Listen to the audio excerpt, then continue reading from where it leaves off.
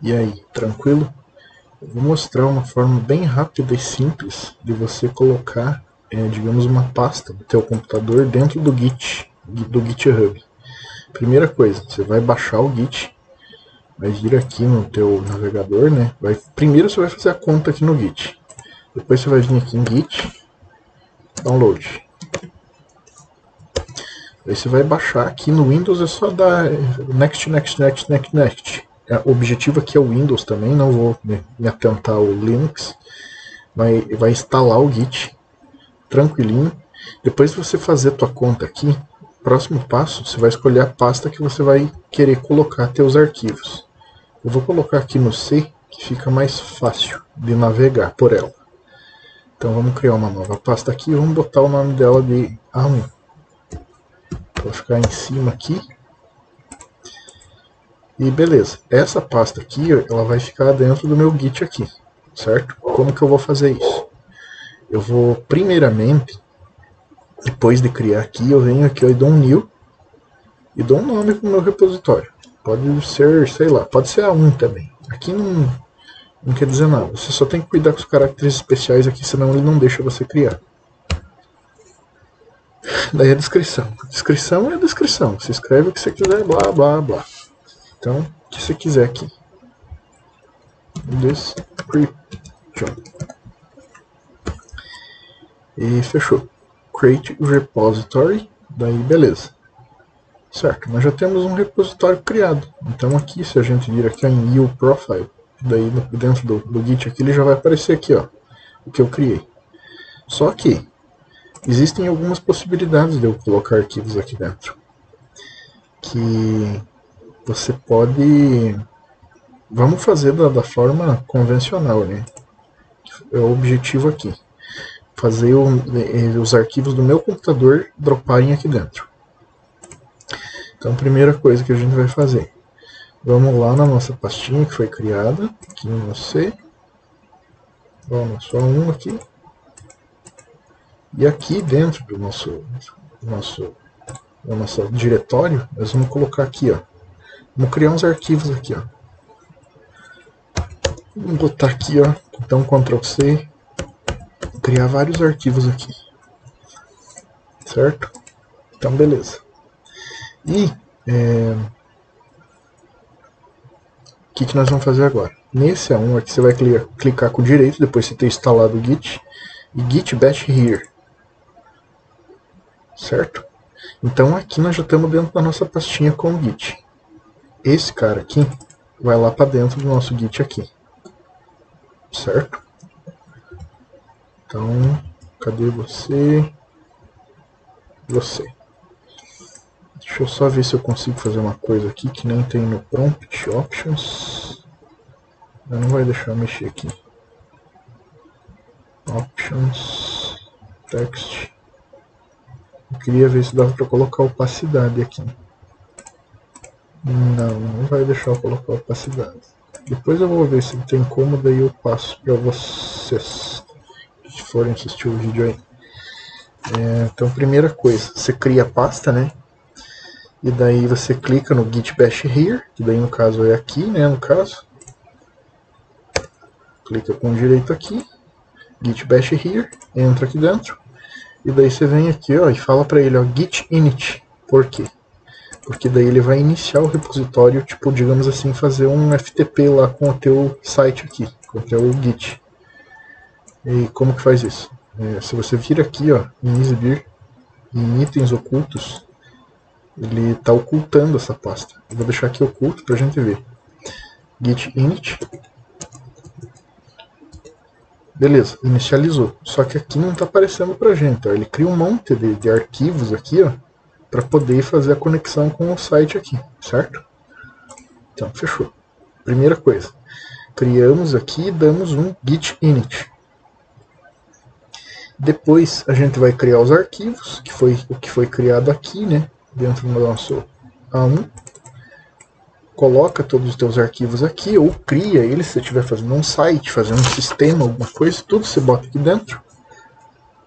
E daí beleza. Daí você vem aqui e dá um git status.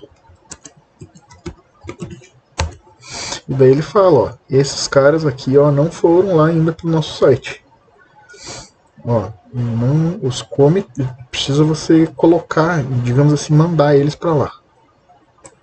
Como que nós vamos fazer isso? Nós vamos dar um git add. Tracinho, ponto. Daí ele vai mandar todo mundo. Certo? E agora nós vamos dar um git status de volta. Aí, ó. Fechou. Mandou todo mundo lá para dentro. E é, é, obrigatório que a gente faça um, um esquema aqui de comitar, que chama. É você colocar, digamos assim, as versões. Então você vai ter que criar um commit. Você vai escrever aqui git. Isso daqui é, não dá certo se você não fizer. Commit. Vamos colocar V0 tipo a versão zero do nosso sistema, digamos assim, né? V0 e aqui tem que ter menos M, ó. menos M.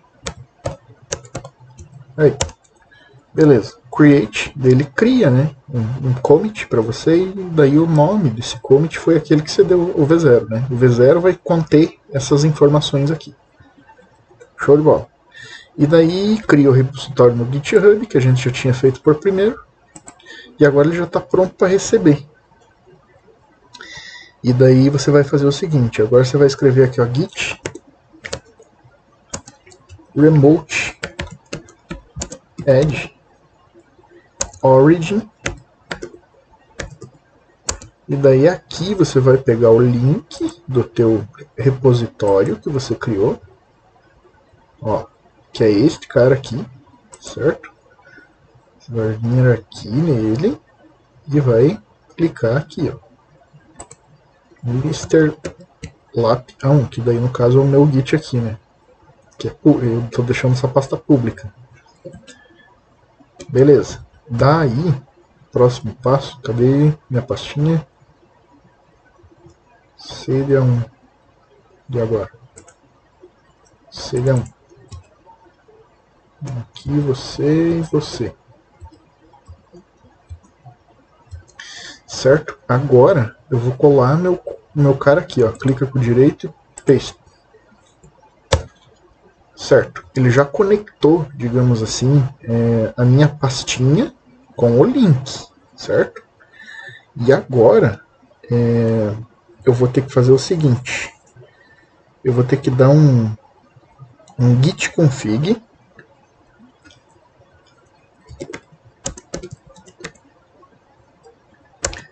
traço traço global.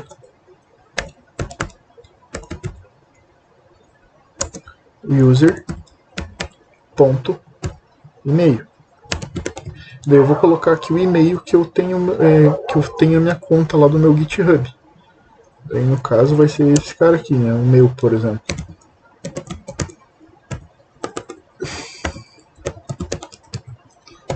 Fechou beleza Daí eu coloco meu e-mail e dou um enter. Beleza, é, conectei, digamos assim, o link, conectei o e-mail, daí eu vou mandar lá para dentro do meu Git. E agora, qual é o próximo passo? O próximo passo é eu dar aqui um git push para ele mandar esses caras lá para dentro. Então, git push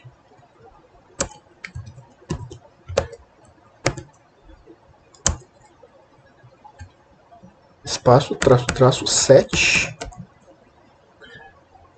tracinho, upstream, origin, master. Aí. Agora ele já mandou lá para dentro do meu repositório, né? E para gente ver que, que aconteceu aqui, nós vamos clicar no nosso repositório. Aí, ó. Então, todos os arquivos que eu queria mandar, que estavam aqui na minha pastinha, no caso, esses caras aqui, vieram aqui para dentro. E se eu quiser adicionar mais um? Vamos copiar aqui ó, essa imagem da bike aqui, ó, e vamos colocar lá dentro do nosso nossa pastinha. Tá, coloquei um arquivo aqui, só que ele não aparece aqui. E eu quero que ele apareça. Então o que, eu faço? Eu venho aqui ao git status. E daí ele fala, ó, você colocou esse arquivo lá dentro que não está lá dentro. O que, que eu faço agora? Então git add. Pronto. Aí, eu dou um git status de volta. Agora, ó, meu arquivo já está pronto para ir lá para dentro. Só que ele não está aqui dentro ainda. Certo? E daí o que, que eu vou fazer? Em vez de dar aquele git push, blá blá, aqui ó, bem completo, eu vou dar só um git push. Que ele já sabe que, que é para fazer aquele outro. Ó, digamos assim que é para mandar lá para dentro, né? Aí. Ah, aqui ele não está deixando. Eu vou ter que mexer num commit aqui, ó. Que no caso é esses, essas versões aqui, ó. Vou ter que criar um commit. Então eu vou dar um git commit. Menos n. Daí aqui eu vou dar um nome. Tipo, V1. Fechou. Agora eu criei um commit. Agora ele vai deixar eu dar o push. Aí, ó. Agora foi. Certo? Se eu der um refresh aqui, ó, tá aqui minha, minha imagem. Então é de uma forma bem resumida. Se ajudou alguém aí, deixa um like, se inscreve no canal e até mais.